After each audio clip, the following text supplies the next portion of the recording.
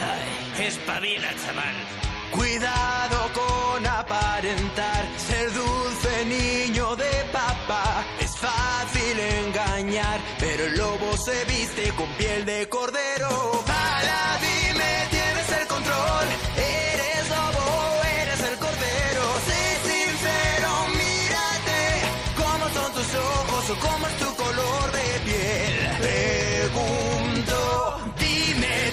tranquilo. ¿Cómo eres capaz de ser así? Vamos,